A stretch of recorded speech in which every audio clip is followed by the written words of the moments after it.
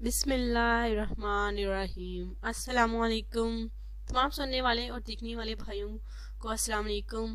کل میں جو ہمارے دوسرے بھائی ہیں جن کو ہم نے سلیکٹ کیا، ان کا نام دیکھیے، ماشاءاللہ سے مدثر ہے. اور وہ جو ہیں راول پنڈی کے رہنے والے ہیں. ان کو ہم نے سلیکٹ کیا اور آج بھی ایک خوبصورت رشتے کے ساتھ آپ کی خدمت میں حاضر ہے آج کا ضرورتی رشتہ ایک خوبصورت لڑکی کا ہے، جو کہ ماشاءاللہ سے اچھی فیملی سے تعلق رکھتی ہے۔ اور دوسرا جو ہے، یہ جو ہے، نام لڑکی کا سہر نور ہے، عمر ستائیس سال ہے۔ جی ہاں پھر سے ریپیٹ کر دیتی ہوں، نام سہر نور، عمر ستائیس سال۔ رہائش ان کی تلگنگ کی ہے اور اچھی فیملی سے ماشاءاللہ سے تعلق ہے۔ یہ جو چاہتے ہیں کہ ان کا رشتہ جو ہے، وہ ایک پڑھے لکھے خاندان، پڑھی لکھی فیملی میں ہو۔ بھائیوں کی یہی خواہش ہے کہ ان کی بہن کی شادی بالکل ایک پڑھی لکھی فیملی میں ہونی چاہیے، جو کہ شروع سے ہی لڑکی نے خواب دیکھے ہیں کہ اس کی شادی ایک اچھے خاندان اور اچھی فیملی میں ہوتی ہے۔ تو ہمارا کوئی بھائی اگر اچھی فیملی سے ہے تعلق رکھتے ہیں، چاہے وہ کہیں سے بھی رابطہ بالکل کر سکتے ہیں، پاکستان کے کسی بھی شہر سے ہو اور بالکل آؤٹ آف کنٹری سے ہو، بالکل ہمارے ساتھ رابطہ کر سکتے ہیں۔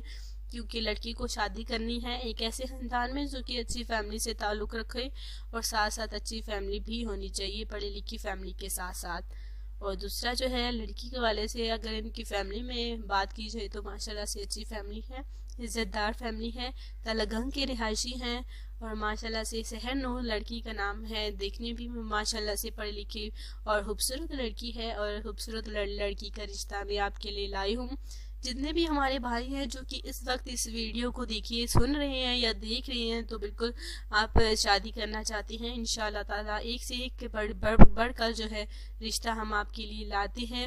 اور خوبصورت لڑکیاں ہوتی ہیں پڑھی لکھی لڑکیاں ہوتی ہیں جو کہ شادی کی گھر سے ہمارے ساتھ رابطہ کرتی ہیں۔ تو اگر آپ چاہتے ہیں کہ آپ کی شادی ایک اچھی فیملی میں ہو، تو ہمارے ساتھ رابطہ کیجیے۔ انشاءاللہ تعالی آپ کو ایک اچھا جیون ساتھی ملے گا۔ اس میرج پروگرام کے بالکل تحت اور ویڈیو اگر آپ کو یہ رشتہ بالکل اچھا لگے تو بالکل چینل کو ضرور سبسکرائب کریں اور یہ جو ہے پروگرام جو ہے اپنے شیئر بھی کرنا ہے تاکہ جن ہمارے بھائیوں کو ابھی تک رشتے نہیں ملے ان کو رشتے ملیں اور جس ہماری بہن کی ابھی تک شادی نہیں ہوئی وہ بھی ہمارے ساتھ رابطہ کر سکتی ہیں انشاءاللہ تعالی۔ آپ کو ایک اچھا اور آپ کو ایک پرسکون زندگی انشاءاللہ تعالی ضرور ملے گی۔ تب تک کے لیے دیکھیے، آج میں اجازت آتی ہوں۔ تب تک کے لیے مجھے اجازت دیں، کل ملیں گے انشاءاللہ تعالی۔ اللہ حافظ۔